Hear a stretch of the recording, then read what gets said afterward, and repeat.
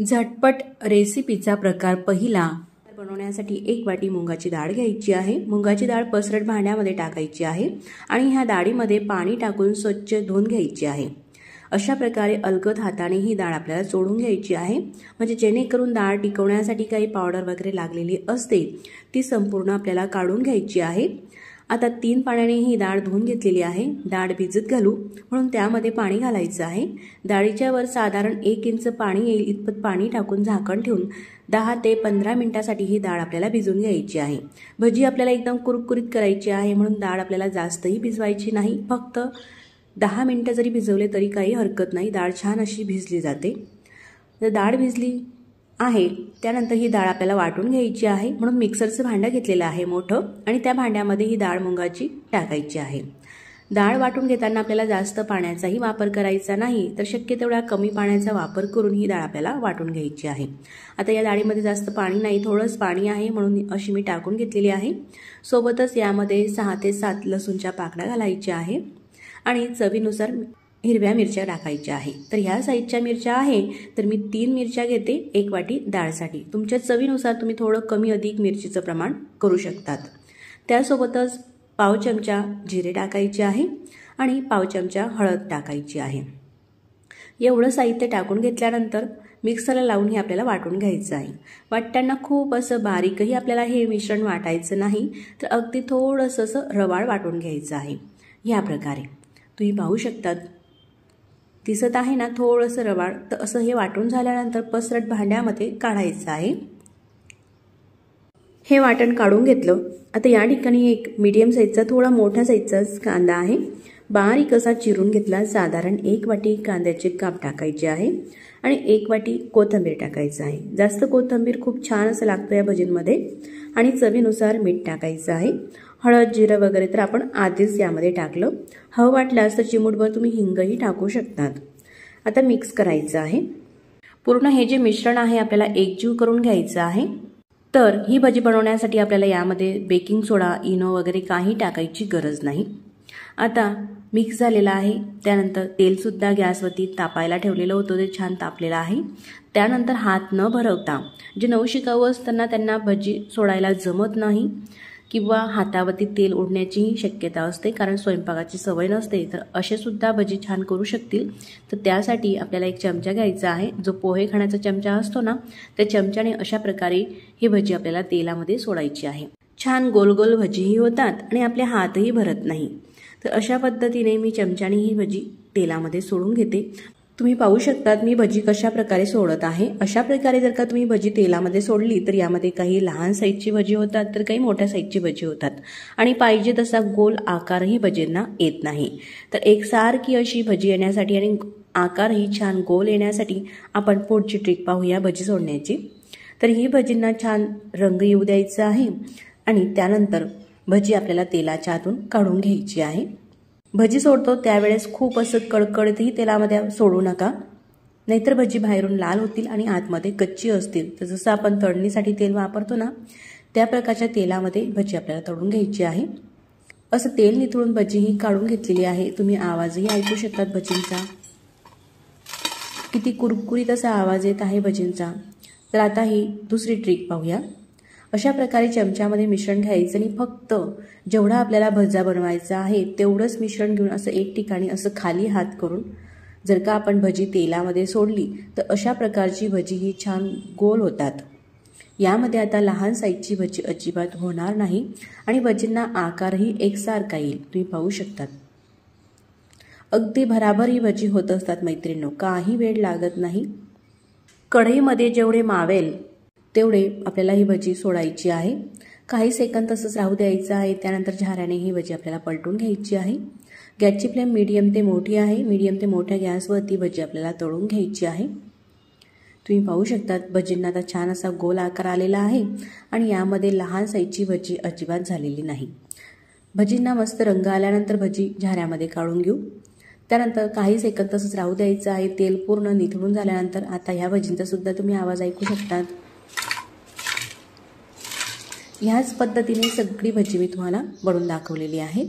अशा प्रकारची एका वाटीमध्ये एवढी भजी झालेली आहे. किती छान असा रंग आलेला आहे भजींना. आणि दिसायलाही एकदम मस्त. त्यासोबतच मी तुम्हाला ही भजी तोडूनही दाखवते. आतमध्येही तुम्ही पाहू शकतात. जसा स्पंज असतो ना स्पंज झालेली आहे ही भजी. मस्त अशी. चवीला अप्रतिम लागणारी आणि कुरकुरीत अशी. पावसाळ्यामध्ये चहासोबत ही भजी चवीला अप्रतिम लागते. यासोबत तुम्ही हिरवी मिरचीसुद्धा तळून घेऊ शकता. तर मंडळी हा कुरकुरीत भजींचा पहिला प्रकार तुम्हाला कसा वाटला मला कमेंट्स करून सांगा. आणि व्हिडिओ आवडल्यास तर देवदर्शन किचन चॅनलला लाईक शेअर आणि सबस्क्राईब करा. प्रकार दुसरा पाहूया. ह्या रेसिपीसाठी एक वाटी गूळ घेतला. गूळ खिसून घ्यायचा आहे. तो कढईमध्ये टाकला. आणि ज्या वाटीने गूळ घेतलेला आहे त्या वाटीनेच पाणी घ्यायचं आहे. थोडं कमी पाणी घ्यायचं आहे. तुम्ही पाहू शकतात एवढं. पाणी टाकून गॅस चालू करायचा आहे आणि ह्या पाण्यामध्ये गूळ आपल्याला विरघळून घ्यायचं आहे. पाक वगैरे होऊ द्यायचा नाही आता गूळ विरघडलेला आहे गॅस बंद करते आणि हे पाणी आपल्याला पूर्णपणे थंड होऊ द्यायचं आहे. तोपर्यंत पुढच्या कृतीसाठी पसरट भांड्यामध्ये दोन वाटी आपल्याला गव्हाचं पीठ घ्यायचं आहे. पीठ हे मी चाळणीने चाळून घेतलेलं आहे. ज्या वाटीने गूळ घेतलेला आहे त्याच वाटीने पीठ सुद्धा घ्यायचं आहे. त्यासोबतच पोहे खाण्याचे दोन ते तीन चमचे बेसन पीठ घ्यायचं आहे म्हणजेच हरभरा डाळीचं पीठ. गोड पदार्थामध्ये थोडंसं चिमूटभर आपल्याला मीठ घालायचं आहे. संपूर्ण हे मिक्स करून घ्यायचं आहे. आता यामध्ये आपल्याला मोहन टाकायचं आहे. म्हणून एका पॅनमध्ये साधारण दोन चमचे गावरान तूप हे टाकलेलं आहे. गॅस चालू करते आणि हे जे तूप आहे कडकडीत असं गरम करून घेते. तुपाचे किंवा बटरचेही मोहन तुम्ही वापरू शकतात. चवीला छान असे लागतात. तूप टाकून घेतल्यानंतर कडकडीत असे मिक्स करून घ्यायचं आहे. गरम असल्यामुळे चमच्याने मिक्स करायचं आहे सुरुवातीला. त्यानंतर हाताने व्यवस्थित असं संपूर्ण पिठाला हे तुपाचं मोहन लावून घ्यायचं आहे. असं हे कडकडीत मोहन वापरल्यामुळे हा पदार्थ छान असा खुसखुशीत होत असतो मैत्रिणींनो. संपूर्ण हे पीठ चोळून घेतलेला आहे. आता मोहनाचं प्रमाण म्हणजे कितपत असावं यामध्ये तूप तसा मुटका करायचा.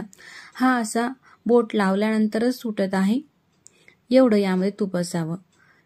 पाव चमचा वेलची पूड टाकायची आहे आणि ह्या रेसिपीला छान असा कुरकुरीतपणा येण्यासाठी यामध्ये साधारण दोन ते तीन चमचे म्हणजे अगदी छोटी लहान वाटी एवढा बारीक रवा टाकायचा आहे. रवा ह्या रेसिपीचे एकदम सिक्रेट आहे. रवा घातल्यामुळे छान कुरकुरीत ही रेसिपी मस्त अशी होत असते. जाड रवा आपल्याला वापरायचा नाही तर बारीकच रवा घ्यायचा आहे. जर का जाड रवा असेल तर मिक्सरला फिरून मगच वापरा.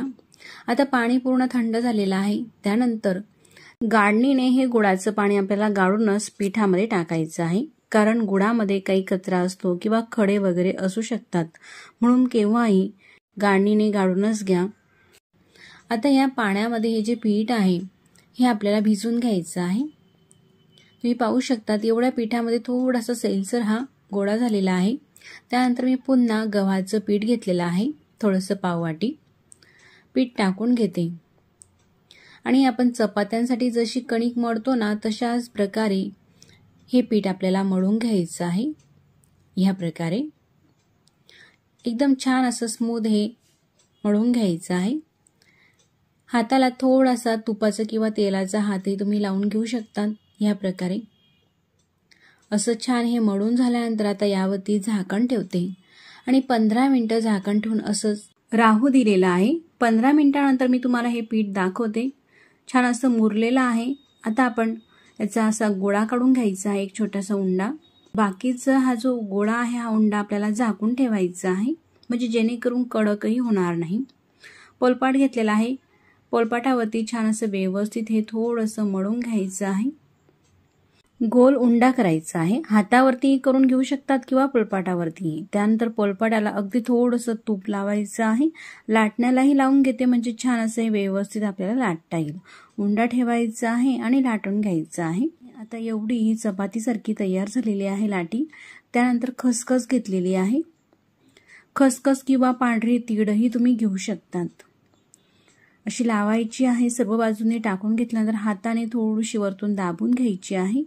त्यानंतर ही बाजू आपल्याला लाटून घ्यायची आहे. मागच्या साईडने सुद्धा तसंच आपल्याला खसखसही लावून घ्यायची आहे. खसखसमुळे छान कुरकुरीत येते आणि चवीला सुद्धा ह्या कापण्या अप्रतिम लागतात. दोघं बाजूंनी छान असं हे लाटून घेतलेलं आहे. तुम्ही जाडी पाहू शकतात. जास्त जाडसुद्धा नाही आणि एकदम पातळसुद्धा लाटायचं नाही. तर अशी एवढी जाडीही राहू द्यायची आहे. त्यानंतर सुरीने किंवा पिझ्झा कटरने कापून घ्यायच्या आहेत ह्या कापण्या. तर मैत्रिणींनो अशा पद्धतीने तुम्ही जर का ह्या कापण्या बनवाल तर तुमच्या घरातील सगळ्यांनाच आवडतील आणि संपेपर्यंत ह्या कापण्या कुरकुरीत राहतील. अजिबात मऊ पडणार नाही. आता सगळ्या कापण्या ह्या कापून घेतलेल्या आहे. एका प्लेटमध्ये काढून घेते. प्लेटमध्ये अशी एक एक न काढता अशा पद्धतीने पोलपाट जर का आपण धरलं ताटावरती तर लगेच या ताटामध्ये निघत असतात. ह्या प्रकारे. कापण्या तळण्यासाठी तेलसुद्धा गरम करण्यासाठी ठेवलेलं आहे. आता ह्या कापण्या तळण्यासाठी तेल कितपत गरम असायला हवं बरं? तर त्यासाठी तेल चेक करण्यासाठी छोटासा हुंडा टाकायचा. हुंडा असा हळूच वर आलेला आहे. अजिबात तो लालसर झालेला नाही. लगेच टाकताच बरोबर. म्हणजे अगदी परफेक्ट तेल हे तापलेलं आहे. त्यानंतर कापणे आपल्याला तेलामध्ये सोडत घ्यायची आहे अशा प्रकारे हाताने. सुरुवातीला असा आपल्याला वाटतं का हे एकमेकांना चिटकलेले आहे. पण जेव्हा आपण तेलामध्ये सोडतो ना तर लगेचच काही सेकंदमध्ये अशा मोकमोकळ्या होत असतात. त्या चिटकत नाही एकमेकांना. आता तुम्ही पाहू शकतात कापण्यांना छान असा रंग आलेला आहे. पूर्णपणे बुडबुडेही कमी झालेले आहे. त्यानंतरच तेलाच्या आतून काढून घ्यायचे आहे. झाऱ्यामध्ये पूर्ण तेल हे निथळून घ्यायचं आहे असं थोडंसं हलवून आणि मगच काढायचे आहे. तुम्ही पाहू शकतात कापण्या अजिबात तेलगट होत नाही. आणि अशाच प्रकारे तळून घ्यायची आहे. ही तुम्हाला दुसरी पद्धतही दाखवते कापणे तेलाच्या आतमध्ये सोडायची. अशा झाऱ्यावरती घ्यायची आणि हळूच तेलामध्ये सोडायच्या. आधीच्या कापण्याप्रमाणे सगळ्या ह्या कापण्या छान रंग येईपर्यंत तळून घ्यायची आहे. या प्रकारे तुम्ही पाहू शकतात एकही कापणी तेलामध्ये विरघळत नाही. कुरकुरीत अशा ह्या कापण्या आपल्या झालेल्या आहे. या प्रकारे संपूर्ण कापण्या त्या तळून घेतलेल्या आहे कुरकुरीत सोबत एकदम खुसखुशीत सुद्धा ह्या कापण्या आहे. अशा हाताने दाबल्या का लगेचच तुटत असतात. मी आता तुम्हाला ही कापणी तोडून सुद्धा दाखवते. एकदम खुसखुशीत अशा पद्धतीच्या ह्या कापण्या संपेपर्यंत राहत असतात. झटपट रेसिपीचा तिसरा प्रकार पाहूया. ठिकाणी मी दोन बटाटे शिजवून घेतलेले आहे. सालं काढून घेतल्यानंतर बटाट्याचे काप करायचे आहे. अशा प्रकारे काप झाल्यानंतर मिक्सरच्या भांड्यामध्ये हे काप टाकायचे आहे. त्यामध्ये थोडंसं पाणी टाकायचं आहे. जास्तही पाण्याचा आपल्याला वापर करायचा नाही. अगदी थोडंसं पाणी टाकून मिक्सरला हे बटाटे आपल्याला एकदम बारीक असे वाटून घ्यायचे आहे. ह्या प्रकारे. यामध्ये बटाट्याचं थोडंसुद्धा तुकडं राहू द्यायचं नाही. एकदम फाईन असं बारीकच हे वाटायचं आहे. आता हे वाटून घेतलेली पेस्ट आपण बाजूला ठेवू. एक पसरट भांडं घ्यायचं आहे. आणि त्यामध्ये दोन वाट्या तांदूळाचं पीठ घालते. तर हे तांदूळाचं पीठ घरीच बनवलेलं आहे. तांदूळ धुवून तो सावलीमध्ये वाढून गिरणीमधून दळून आणलेला आहे. तुम्ही रेडीमेड जी मिळते तांदूळाची पिठी ती सुद्धा घेऊ शकतात. दोन वाटी तांदूळाच्या पिठासाठी एक वाटी बेसन पीठ घेतलेले आहे. तुम्ही वाटीची साईजही पाहू शकतात. मीडियम साईजची अशी वाटी आहे. त्यानंतर या पिठामध्ये आपल्याला अर्धा चमचा जिरे टाकायचे आहे. पाव चमचा ओवा टाकायचा आहे. अर्धा चमचा पांढरे तीळ घालायचे आहे. चवीनुसार मीठ टाकायचं आहे. त्यानंतर पाव चमचा हळद टाकायची आहे आणि एक चमचा लाल मिरची पावडर. तर मीडियम चवीची अशी ही मिरची पावडर आहे. तुम्ही तुमच्या चवीनुसार मिरची पावडर वापरू शकतात. एवढे हे मसाले टाकल्यानंतर मिक्स करून घ्यायचे आहे पिठामध्ये. पूर्णपणे आता हे मिक्स झालेलं आहे. आता यामध्ये मोहन घालण्यासाठी मी तडका पॅनमध्ये दोन चमचे तूप हे कडकडीत असं गरम करून घेतलेलं आहे. तुपाच्या ऐवजी तुम्ही बटरचाही वापर करून घेऊ शकतात. शक्यतो चकलीमध्ये तेलाचं मोहन वापरलं जाते पण तुम्ही जर का तुपाचं किंवा बटरचं मोहन वापरलं असं यामध्ये घातलं तर चवीलाही चकली अप्रतिम लागते आणि खुसखुशीतसुद्धा छान अशी होते. गावरान तूप हे टाकून घेतलेलं आहे तुम्ही कोणत्याही तुपाचा वापर करून घेऊ शकतात. तूप हे गरम असल्यामुळे चमच्याने सुरुवातीला मिक्स करून घेऊ. त्यानंतर हाताने अशा पद्धतीने हे पूर्ण तूप जे आहे आपण टाकलेलं आहे मोहन ते पूर्ण पिठाला असं हे लावून घ्यायचं आहे. तुम्ही पाहू शकतात आता हे जे पीठ आहे अशा पद्धतीचा हलकासा मुटका व्हायला हवं. इतपतच यामध्ये तूप घालायचं आहे. साधारण पोहे खाण्याचे दोन चमचे एवढंच तूप टाकलेलं आहे. यापेक्षा जास्तही तुपाचा तुम्ही वापर करू नका. त्यानंतर बटाट्याची प्युरी जी आहे ते बटाट्याचं वाटण या पिठामध्ये टाकायचं आहे. आणि हे पीठ मळून घ्यायचं आहे. तर हे चकलीचं पीठ भिजवत असताना जर का तुम्हाला कोरडं वाटायला लागलं तर यामध्ये अगदी थोडंशा पाण्याचा वापर तुम्ही करून घेऊ शकतात. आणि जर का पातळसर झालं तर यामध्ये आणखी थोडंसं तांदूळाचं आणि बेसनाचा पिठाचा वापर करून पीठ असं व्यवस्थित असं हे मळून घ्यायचं आहे चपातीप्रमाणे. या प्रकारे पीठ हे मळून घेतलेलं आहे. जास्त घट्टसर सुद्धा नाही आणि पातळसर सुद्धा नाही. जसं आपण पोळ्यांसाठी चपात्यांसाठी पीठ मळतो तशा प्रकारे हे पीठ मळून घेतलेलं आहे. त्यानंतर या ठिकाणी मी हा साचा घेतलेला आहे चकली बनवण्याचा. साच्यामध्ये प्लेट लावत असताना उथळ बाजू वरती करायची आहे आणि खोलगट बाजू ही खाली करायची आहे. त्यानंतर साचा हा बंद करायचा आहे. आता साच्याला हे चकली बनवण्याचं पीठ चिटकू नये म्हणून अगदी थोडंसं तेल हे लावून घ्यायचं आहे. ह्या प्रकारे पूर्ण बाजूला तेल हे लावून झालेलं आहे. ब्रश नसेल तर अशा आजूबाजूला चमच्यानेही तुम्ही अगदी थोडंसं तेल सोडून घेऊ शकतात. आता हे जे पीठ आहे चकलीचं ते घ्यायचं आहे. असा एखादी उंडा घ्यायचा आहे. जेवढं साच्यामध्ये पीठ मावेल तेवढा उंडा घ्यायचा आहे. हाताने असा छान स्मूथ करायचा आहे. त्यानंतर साच्यामध्ये मावेल त्यानुसार लांबट करायचं आहे. आता हे पीठ साच्यामध्ये भरून घेते. हाताने थोडंसं हे पीठ दाबून घ्यायचं आहे म्हणजे जेणेकरून हवा शिल्लक राहणार नाही आणि चकली बनवताना ती तुटणार सुद्धा नाही. हे पीठ भरून घेतल्यानंतर साचा बंद करायचा आहे. त्यासोबतच गॅसवरती चकली तळण्यासाठी तेल सुद्धा गरम करण्यासाठी ठेवलेलं आहे. तर त्या चकलीसाठी तेल कितपत गरम असायला हवं बरं का? तर असं थोडासा उंडा टाकून पाहायचा. अगदी छोटासा गोळा अगदी हे पीठ वर आलेलं आहे टाकताच बरोबर आणि जळालेलं सुद्धा नाही. अगदी परफेक्ट असं हे तेल गरम झालेलं आहे. त्यानंतर हे चकली आपल्याला अशा प्रकारे सोडायची आहे. तर अगदी लांब लांब करायची आहे. आपल्याला एखादी स्टिकप्रमाणे किंवा कुरकुरे जसे मिळतात ना तसे मुलांना आवडतात तसे हे कुरकुरे होतात. तर अशा प्रकारे ही चकली सोडायची आहे. तुम्ही पाहू शकता कुठेही ही चकली टाकताना तुटत नाही किंवा तुम्ही असा गोल छोट्या छोट्याही करून घेऊ शकता. जेवढं तेल असेल किंवा ज्या साईजची कढई असेल त्यानुसार ही चकली पूर्ण टाकून घ्यायची आहे. त्यानंतर शेवटी हाताने तोडून घ्यायची आहे. गॅसची फ्लेम मीडियम ते थोडी मोठी आहे. कमीसुद्धा ठेवायची नाही नाहीतर चकली ही मऊ पडते आणि ती तिथेच तुटते. तर मीडियम ते मोठ्या गॅसवरती ही चकली आपण तळून घेत आहोत.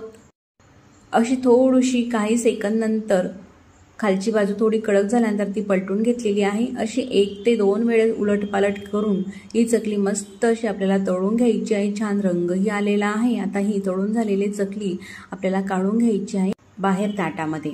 पूर्ण तेल हे निथळूनच घ्यायचं आहे मात्र. तुम्ही पाहू शकतात अजिबात तेलगट ही चकली होत नाही. तशाच प्रकारे बाकीच्या पिठाच्याही आपल्याला चकल्या ह्या करून घ्यायच्या आहे अगदी बराबर होता मैत्रिणो ह्या चकल्या. काही जास्त वेळ लागत नाही. आणि एकदा बनवून ठेवलेल्या ह्या चकल्या पंधरा दिवस आठ दिवस किंवा महिनाभरासाठी सुद्धा साठवून ठेवू शकतात. एकदम छान अशा कुरकुरीत आणि खुसखुशीत ह्या चकल्या राहतात. मुलांच्या छोट्या मोठ्या भुकेसाठी सुद्धा तुम्ही त्यांना खाऊ घालू शकतात किंवा एखादी दिवशी डब्यामध्ये सुद्धा देऊ शकतात किंवा प्रवासाला जायचं असेल तेव्हा सुद्धा ही चकली आपण सोबत घेऊन जाऊ शकतात. चवीला अप्रतिम लागणारी आणि झटपट होणारी अशा प्रकारची ही चकली आहे. जर का चकलीचा व्हिडिओ तुम्हाला कुठेतरी थोडासा सुद्धा आवडला असेल तर नक्कीच आपल्या देवदर्शन किचन चॅनलला लाईक शेअर आणि सबस्क्राईब करायला विसरू नका. चकली ही पलटवायची आहे हे कसं ओळखायचं? सुरुवातीला आपण चकली जशी तेलामध्ये सोडतो त्यावेळेस भरपूर सारे असे हे बुडबुडे निघतात. आणि हळूहळू काही सेकंदमध्येच ते जे बुडबुडे आहेत ते कमी होतात. कमी बुडबुडे झाल्यानंतर चकली ही पलटून घ्यायची आहे. आणि मस्त अशी खमंग कुरकुरीत होईपर्यंत ती तळून घ्यायची आहे. छान रंग आल्यानंतर चकलीचं पूर्ण तेल हे निथून ती आपल्याला बाहेर काढायची आहे. आणि तशाच प्रकारे संपूर्ण राहिलेल्या पिठाच्या ह्या चकल्या आपल्याला करायच्या आहेत. आज तुम्ही पाहू शकता संपूर्ण ह्या पिठाच्या चकल्या ह्या करून झालेल्या आहेत. साधारण दोन वाटी पीठ आणि दोन बटाटे एवढ्या या साहित्यामध्ये इतपत ह्या एवढ्या मोठ्या चकल्या तयार झालेल्या आहे. किती छान असा रंग आलेला आहे. सगळ्याच चकल्या मस्त अशा कुरकुरीत आणि खुसखुशीत झालेल्या आहे. तर अशा प्रकारे ह्या चकल्या झाल्यानंतर आपल्याला या चकल्यांचे असे छोटे छोटे तुकडे करून ठेवायचे आहे. म्हणजे मुलांना खाण्यासाठी अगदी योग्य सोयीस्कर होईल. तुम्ही पाहू शकता असा स्प्रिंगसारखं सुद्धा ह्या चकल्या होत असतात. तर तुम्हाला जशा हव्या तशा स्टिकसारख्या थोड्याशा मोठ्या किंवा अशा थोड्याशा लहान साईजमध्येही तुम्ही ह्या चकल्या तोडून घेऊ शकता. जसं तुम्हाला सोयीस्कर जमेल त्यानुसार. तर एकदम अतिशय चविष्ट आणि बनवायला सोपा हा नाश्त्याचा प्रकार आहे. पावसाळ्यामध्ये चहासोबत काहीतरी नाश्त्याला हवं असेल तर अशा प्रकारचा मस्त कुरकुरीत तुम्ही नाश्ता करून तर पहा. एकदा बनवाल तर तुमच्या घरातील सगळ्यांना हा नाश्ता आवडेल आणि तुम्ही बऱ्याच वेळा अशीच ही रेसिपी कराल. मैत्रिणींनो ही रेसिपी तुम्हाला कशी वाटली मला कमेंट्स करून नक्कीच कळवा. आता आपण झटपट रेसिपीचा चौथा प्रकार पाहूया. या ठिकाणी एका बाऊलमध्ये एक वाटी बेसन पीठ घ्यायचं आहे. त्यामध्ये पाव चमचा हळद टाकते. एक चमचा तांदूळाची पिठी टाकायची आहे आणि चवीनुसार मीठ टाकायचं आहे. म्हणजेच अर्धा चमचा मीठ आणि पाव चमचा ओवा टाकते. फक्त आपल्याला या ठिकाणी एवढंच साहित्य वापरायचं आहे. त्यानंतर थोडंसं पाणी टाकायचं आहे आणि हे पीठ भिजून घ्यायचं आहे. एकदम पाणी आपल्याला वापरायचं नाही तर असं थोडं थोडं पाणी करून यामध्ये पाणी टाकत हे पीठ भिजून घ्यायचं आहे. अशा प्रकारे थोडं थोडं पाणी टाकून घेतलं तर यामध्ये गाठीसुद्धा होत नाही आणि पीठ अगदी स्मूद असं होत असतं. थोडंसं असं पेटून घ्यायचं आहे म्हणजे जेणेकरून पीठ असं हे छान स्मूथ होईल आणि थिकनेसही तुम्ही पाहू शकता. इतपत हे पातळसर आपल्याला ठेवायचं आहे. त्यानंतर या ठिकाणी मी दोन मीडियम साईजचे बटाटे घेतलेले आहे. बटाट्याची साल काढून स्वच्छ धुवून घेतलेले आहे. त्यानंतर ताटामध्ये पाणी घेतलेलं आहे आणि ही खिसणी घेतलेली आहे ज्याने आपण चिप्स वगैरे बनवतो ती खिसणी त्या किसनीवरती असे पातळसर आपल्याला हे चिप्स करून घ्यायचे आहे. ह्या प्रकारे. खिसणी नसेल तर तुम्ही सुरीने अगदी बारीक बारीक अशा प्रकारचे हे कापसुद्धा करून घेऊ शकतात बटाट्याचे. पण खिसणीमुळे काय होतं एकदम छान असं बारीक असे हे चिप्स होतात. ह्या प्रकारे हे चिप्स करून झालेले आहे. आता स्वच्छ धुवून घ्यायचे आहे. किसताना मात्र पाण्यातच किसायचे आहे म्हणजे ते लालही पडत नाही. चिप्स खिसल्यानंतर लगेचच तो आपल्याला पाण्याच्यातून काढून घ्यायचा आहे. अशा प्रकारे पूर्ण पाणी हे निथळून घेतलेलं आहे. चिप्समध्ये अजिबात पाणी नाही. चिप्स जर का आपण हे जास्त वेळ पाण्यामध्ये राहू दिले मैत्रिणीनं तर मऊ पडतो. त्यानंतर भजी ही व्यवस्थित येत नाही. म्हणून लगेचच पाण्याच्यातून काढून घ्यायची आहे. आता बेसन पिठामध्ये अगदी चिमूटभर आपल्याला खाण्याचा सोडा टाकायचा आहे. जास्तही सोड्याचा वापर करायचा नाही. सोडा टाकून घेतल्यानंतर छान असं हे पीठ मिक्स करून घ्यायचं आहे ह्या प्रकारे. आता पीठ हे कितपत पातळसर किंवा घट्टसर असावं तेही मी तुम्हाला दाखवते. ह्या प्रकारे इतपतच थिकनेस असावं हे पिठाचं. यापेक्षा जास्त पातळसर सुद्धा नाही किंवा घट्ट सुद्धा नाही. आणि त्यामध्ये बटाट्याचे चिप्स टाकायचे आहे. तर मैत्रिणींनो बटाट्याची चिप्स करत असतानाच गॅसवरती तेलसुद्धा गरम करण्यासाठी ठेवून घेतलेलं होतं. तुम्ही पाहू शकतात. तेलसुद्धा गरम झालेलं आहे. त्यानंतर बटाट्याची चिप्स या बेसनामध्ये टाकलेलं आहे. अशा प्रकारे हे बेसन आपल्याला या चिप्सला लावायचं आहे आणि त्यानंतर या तेलामध्ये सोडायचं आहे. तेल थंडही नको आणि असं खूप तापलेलंही नको. जसे आपण भजी तळण्यासाठी तेल गरम करतो त्याच प्रकारे तेल हे गरम आहे. आणि असं लगेचच चिप्स पिठामध्ये बुडवायचा आणि तो तेलामध्ये सोडायचा आहे आपल्याला. गॅसची फ्लेम मात्र मीडियम आहे. मोठ्या ते मीडियम गॅसवरती आपल्याला ही भजी तळून घ्यायची आहे. तुम्ही पाहू शकतात. भजी ही किती मस्त अशी फुगत आहे. जशी काही पाणीपुरीचे फुगेच आपण तळून घेत आहोत अशा प्रकारे ही टम्म ही फुगे फुग्यांसारखी भजी होत आहे. रंगही एकदम छान असा येतो. चवीला सुद्धा अप्रतिम अशी लागतात ही भजी. तर मैत्रिणींनो आपल्याकडे जर का लहान मुलं असले तर त्यांनासुद्धा ही भजी अप्रतिम आवडतात. कारण या भजीमध्ये आपण मिरची पावडरचा कुठेही वापर केलेला नाही. त्यामुळेच लहान मुलं सुद्धा अगदी आवडीने ही भजी खात असतात. तुम्ही पाहू शकतात मैत्रिणींनो मी अगदी जवळून तुम्हाला दाखवत आहे व्हिडिओ. छान अशी ही भजी टम्म फुगलेली आहे पुरीप्रमाणेच. आणि जास्त काही तेलगटसुद्धा होत नाही. आता ह्याच प्रकारे आपण बाकीची भजीसुद्धा तळून घेऊ. जास्तही बेसन आपल्याला लावायचं नाही तुम्ही पाहू शकतात.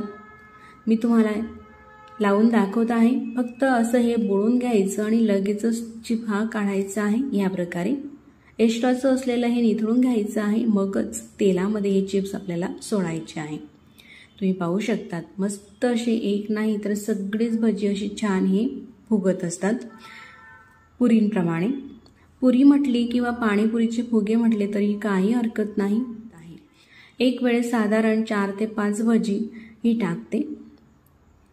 ज्या साईजची तुमची कढई असेल त्यानुसार तुम्ही सोडून घेऊ शकतात. असं थोडंसं तेल निथळून घ्यायचं आहे एक्स्ट्राचं म्हणजे अजिबात भजी ही तेलगटही होत नाही. अशाच प्रकारे संपूर्ण ही भजी तोडून घ्यायची आहे. एकदम कुरकुरीत अशी ही भजी होत असतात. यामध्ये आपण तांदूळाचं पीठ वापरलेलं आहे ना त्यामुळेच. अशाच प्रकारे संपूर्ण भजी ही तळलेली आहे. किती मस्त अशी दिसत आहे ना फुगे तुम्ही पाहू शकता सगळे भजी तळून झालेले आहे तरीसुद्धा फुग्यांप्रमाणेच असे हे मस्त छान दिसत आहे. तर अशा या भजींसोबत टमाटो सॉस किंवा तुम्ही मिरचीही तळून खाऊ शकतात. ही भजी मी तुम्हाला तोडूनसुद्धा दाखवते. आतमध्ये सुद्धा फुग्यांप्रमाणेच एकदम पोकळ भाग असा आलेला आहे. तर मंडळी झटपट रेसिपीचा पाचवा प्रकार पाहूया. मी तीन हे बटाटे घेतलेले आहे तर असे मीडियम साईजचे हे बटाटे आहे. बटाटे स्वच्छ धुवून घेतल्यानंतर पिलरने हे बटाटे आपल्याला सोलून घ्यायचे आहे ह्या प्रकारे. बटाटे सोलून झालेले आहेत. त्यानंतर खिसणी घ्यायची आहे ज्याने आपण खोबरं वगैरे खिसतो ना तशाच प्रकारची खिसणी घेतलेली आहे. आणि खिसणीवरती हे घेतलेले बटाटे आपल्याला खिसून घ्यायचे आहे. अशा प्रकारे.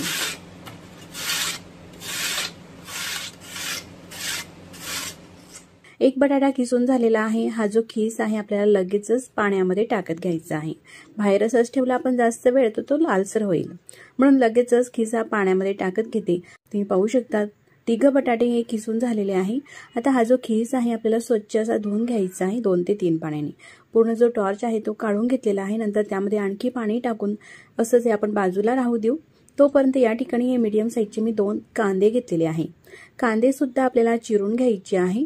कांद्याचे देठ काढून कांद्याची साल ही काढून घेतलेली आहे अशा प्रकारे. त्यानंतर मधून भाग करायचा आहे. दोन भाग करून कांदा अशा प्रकारे लांब स्लाईडमध्ये चिरायचा आहे आणि चिरताना एकदम फाईन असा बारीकच चिरायचा आहे. जेवढा शक्य होईल तेवढा आपल्याला हा बारीक कांदा चिरून घ्यायचा आहे.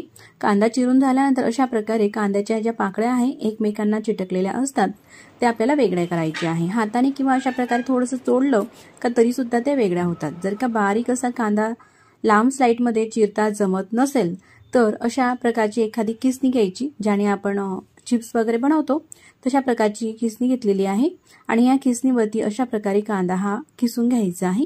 म्हणजे एकदम छान असा बारीक हा कांदा किसला जातो लांब असा. तुम्ही पाहू शकतात बाकीचा कांदा मी किसणीवरतीच किसून घेतलेला आहे. किसल्यानंतर सुद्धा आपल्याला अशा प्रकारे थोडासा हा मोकळा करून घ्यायचा आहे.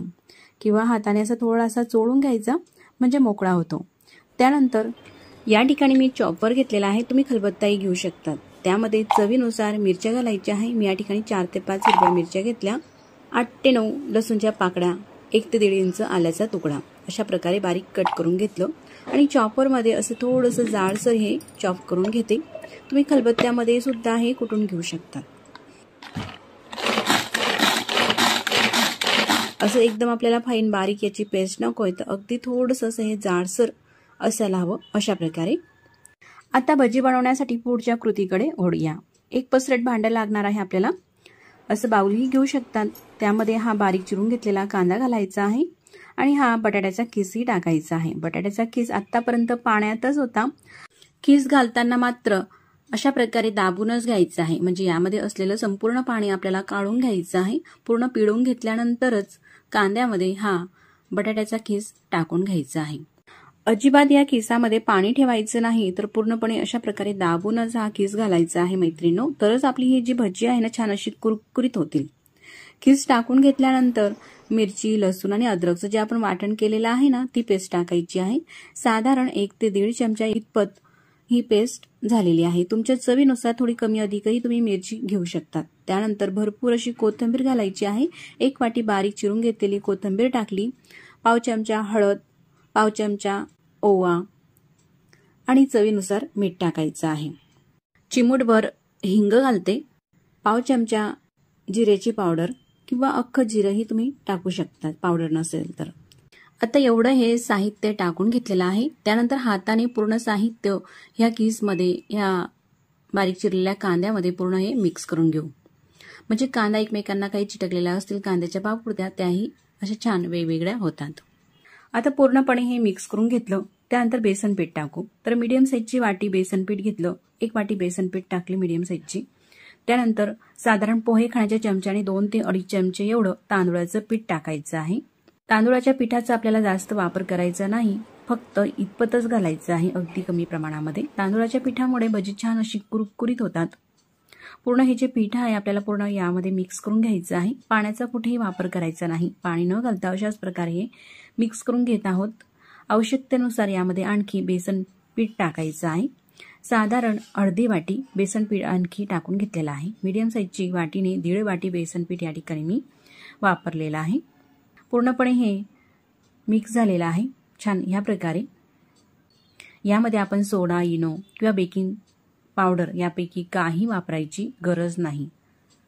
असं छान मिक्स करून झाल्यानंतर गॅसवरती कढई ठेवायची आहे आणि कढईमध्ये तेल तापण्यासाठी ठेवायचं आहे. तर या ठिकाणी मी लोखंडाच्या कढईचा वापर करते ही भजी तळण्यासाठी. तेल गरम झालेलं आहे.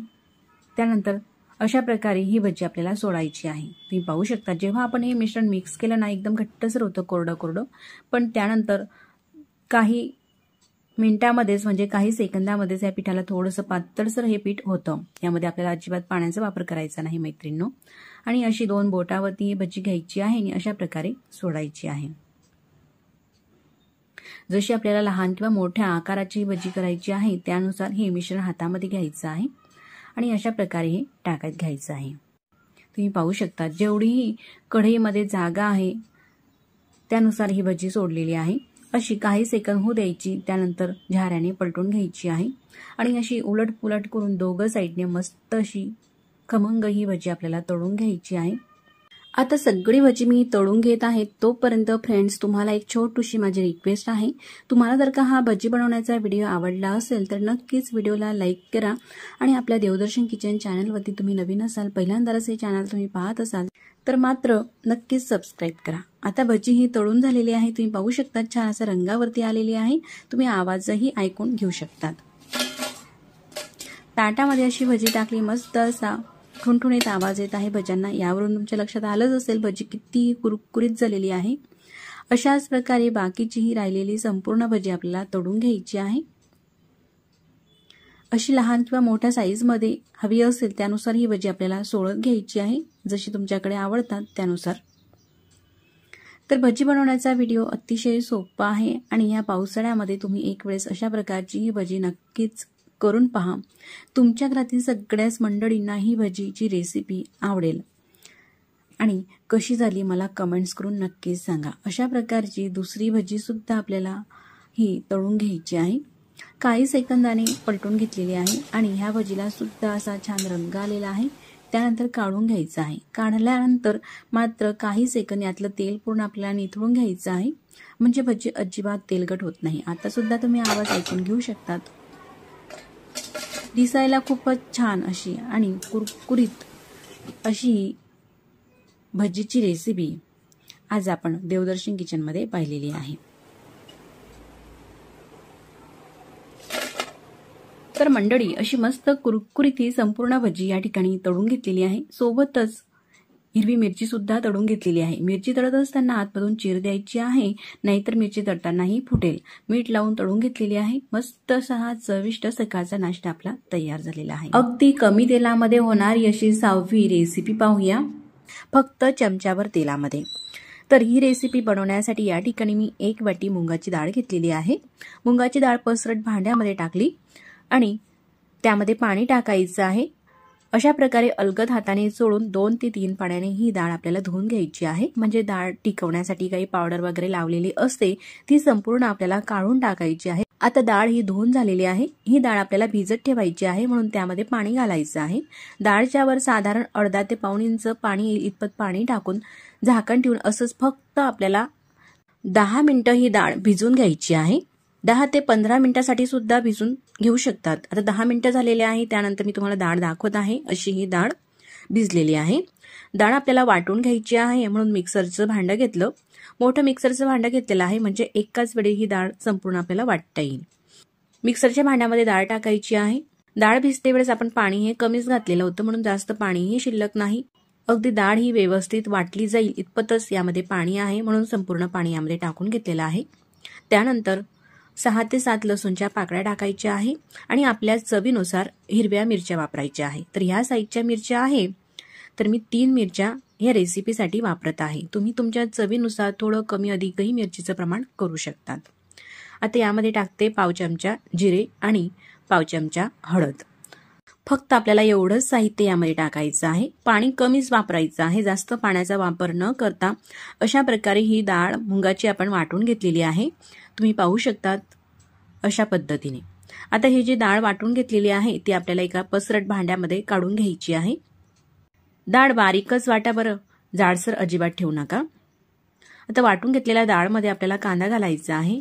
तर एक मिडियम साईजचा कांदा बारीक चिरून घेतला. साधारण एक वाटी कांद्याचे काप आणि एक वाटी कोथंबीर. चवीनुसार मीठ टाकायचं आहे. एवढंही साहित्य तुम्ही ह्या रेसिपीसाठी वापरू शकतात असं मिक्स करून घालायचं आहे. आणि आणखी या रेसिपीला जास्त आपल्याला हेल्दी करायची झाल्यास तर यामध्ये वेगवेगळ्या प्रकारच्या आपण यामध्ये भाज्याही वापरू शकतात. जसं की शिमला मिरची टमाटर पत्तागोबी किसून घेतलेला गाजर अशा प्रकारच्या पालेभाज्या ज्या आपले मुलं खात नाही त्या पालेभाज्याही तुम्ही यामध्ये थोड्या थोड्या प्रमाणामध्ये वापरू शकतात. आता मी फक्त यामध्ये शिमला मिरचीचे काप टाकलेले आहे आणि एक चमचा दही टाकलेला आहे. दही तुम्ही स्किप सुद्धा करू शकतात कारण आपण हे जी डाळ आहे अगदी झटपट भिजून करत आहोत. थोडासा आंबटसरपणा आणि लुसलुशीतपणा येण्यासाठी यामध्ये मी दही वापरलेला आहे. संपूर्ण हे दही अशा पद्धतीने मिक्स करून घ्यायचं आहे या डाळीच्या मिश्रणामध्ये. दही घालत असाल तर असं व्यवस्थित छान असं हे मिक्स करून घ्या. मिक्स झालेलं आहे. गॅसवरती पॅन ठेवलेला आहे आणि त्या पॅनमध्ये फक्त एक चमचा तेल टाकलेलं आहे गरम होण्यासाठी. पडीने सांगायचं झालं तर फक्त अर्धी पडी एवढं तेल आपल्याला लागत असते. तेल गरम होत आहे. तोपर्यंत पाव चमचा सोडा घेतला. बेकिंग सोडा. सोडा टाकायचा आहे. तुम्ही जर का दही वापरलेलं नसेल तर शक्यतो इनोचा वापर करा. म्हणजे रेसिपीला थोडासा आंबटपणा येईल आणि छान अशी जाडी येईल. तर पूर्ण हा सोडा मी मिक्स करून घेते. जास्तही सोडा आपल्याला वापरायचा नाही फक्त पाव चमचा इतपत. तेलसुद्धा गरम झालेलं आहे गॅसची फ्लेम कमी आहे आणि पॅनमध्ये आता हे जे मिश्रण आहे ते संपूर्ण आपल्याला टाकून घ्यायचं आहे आणि अशा प्रकारे पसरून घ्यायचं आहे. व्यवस्थित पसरावं त्यासाठी थोडंसं हे हलवून घेते. गॅस कमी ठेवायचा आहे आणि यावरती झाकण ठेवून घ्यायचं आहे. साधारण दोन ते तीन मिनिटानंतर आता आपण पाहूया. दोन मिनटं झालेले आहे. तुम्ही पाहू शकतात असं फुलून सुद्धा आहे आणि खालून सुद्धा खालची बाजू अशी ब्राऊन दिसत आहे. मग पलटून घ्यायची आहे. आता हे आपल्याला पलटवायचं आहे तर मग दोन चमच्यांचा वापर करायचा आहे. सराटा घेतला आणि झारा घेतला. दोघं चमच्यांनी हे पलटून घेतलेलं आहे. खालची बाजूही तुम्ही पाहू शकतात. मस्त अशी शेकली गेलेली आहे. त्यानंतर आता सुद्धा गॅस कमीचा आहे झाकण ठेवायचं आहे. पुन्हा साधारण दीड ते दोन मिनिटापर्यंत शेकून घ्यायचं आहे. नंतर आपल्याला चेक करायचं आहे व्यवस्थित हे झालं त्यानंतरच गॅस बंद करायचा आहे.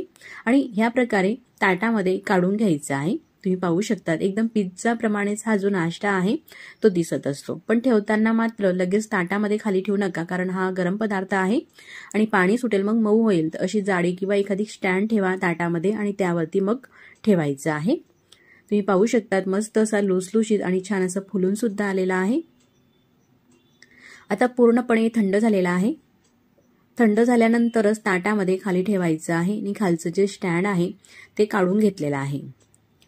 आता ज्याप्रमाणे पिझ्झाची कटिंग करत असतात ना तशा प्रकारे याची सुद्धा आपण कटिंग करून घेऊ पिझ्झाप्रमाणे म्हणजे मुलं अगदी आवडीने खातील. प्रत्येक मुलांना हा पिझ्झा आवडत असतो. आणि अशा प्रकारे आपण जर का काही नाश्ता त्यांना बनवून दिला तर पिझ्झा समजून मुलं अगदी आवडीने खातात. आणि हा जो नाश्ता आहे पौष्टिक सुद्धा आहे चवीला सुद्धा अप्रतिम आहे आणि बनवायला सुद्धा सोपा आहे. जास्त काही भांडेही भरत नाही. अगदी झटपट कमी तेलामध्ये पौष्टिक आपण हा नाश्ता बनवून घेऊ शकतात.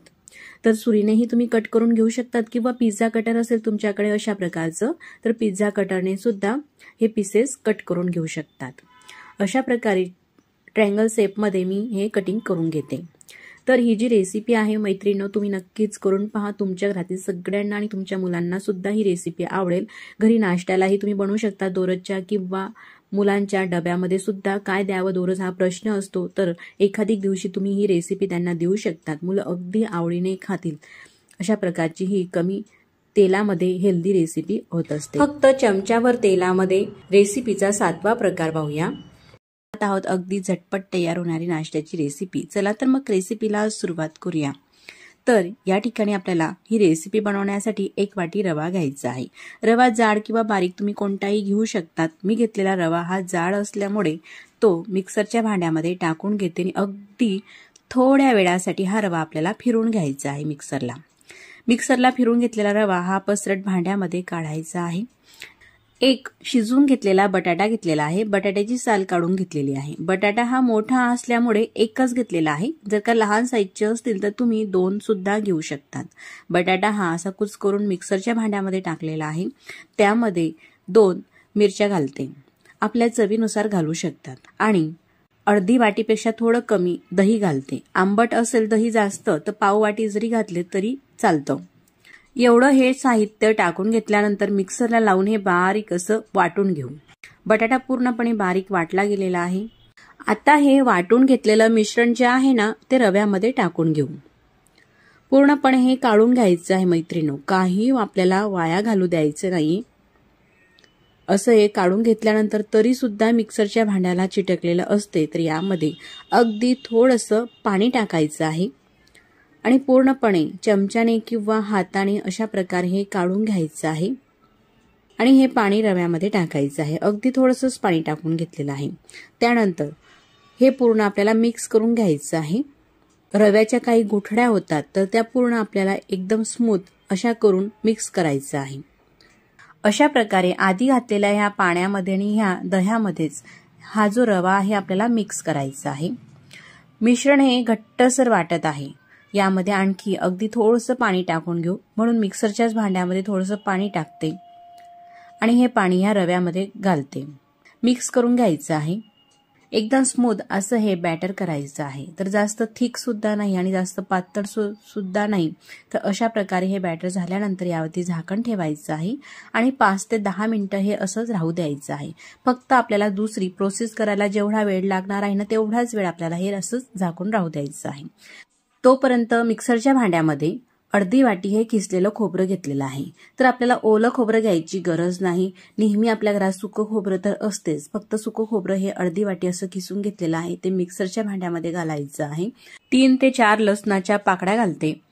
दोन हिरव्या मिरच्या टाकते. चवीनुसार वापरू शकतात. एक लिंबू घेतलेला आहे. लिंबू चिरून लिंबूचा रस घालायचा आहे. तर लिंबूमध्ये ज्या बिया असतात ना त्या आपल्याला टाकायच्या नाही. तर बिया ह्या पूर्णपणे काढून घ्यायच्या आहे. बी जर का गेली एखादी कोणत्याही आपल्या रेसिपीमध्ये तर त्याला कळवट चव येत असते बीमुळे. तर बिया पूर्ण अशा हातावरतीच मी काढून घेते. तर फक्त रस घालायचा आहे. असं एक लिंबू पिळून घेतलेला आहे. त्यानंतर अर्धा चमचा साखर टाकते.